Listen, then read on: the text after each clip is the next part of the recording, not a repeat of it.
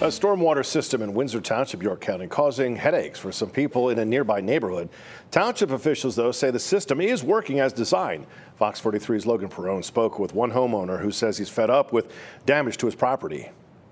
It's very frustrating. I mean, we just keep dealing with it. Bill Simms has lived in his Windsor Township home since 1992. He says he's experienced damage to his property since the nearby elementary school opened in 2010. Simms claims the stormwater system for the school is not working and the water isn't flowing into underground pipes. We've gone back and forth with the township and the school district, and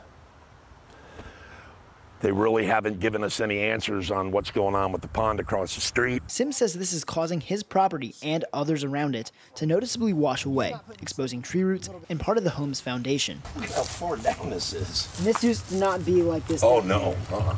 And this has been, you said, the last like 10 years since ah, It's been ever since they built the school, yeah. Simms says the issues keep getting worse, and he's now seeing damage inside his home. But this wasn't here. Officials with Windsor Township declined an on camera interview, but did explain the detention basin in question collects and mitigates stormwater runoff from the district's property.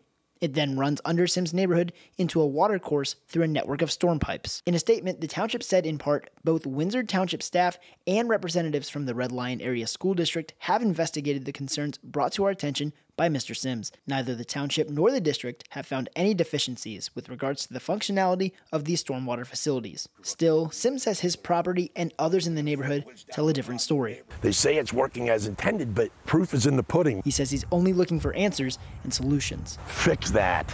I'll worry about this, okay? Um, you know, I just I just don't want my I, I just don't want any continuing damage to my property. Logan Perone, Fox 43 News.